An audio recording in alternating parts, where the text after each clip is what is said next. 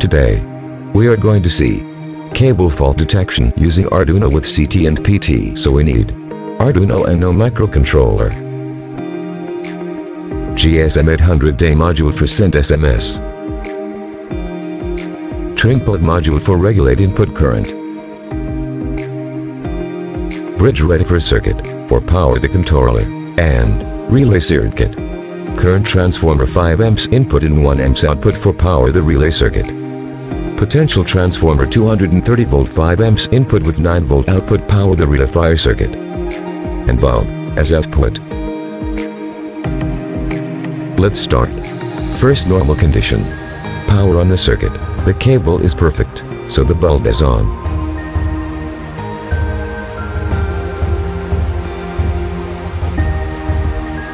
Second at normal condition. Manually we are going to vary current by Trimpot.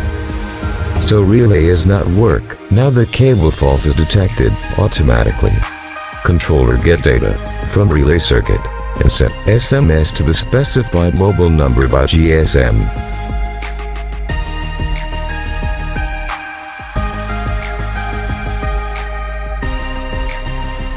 Thank you. For more details, visit our site.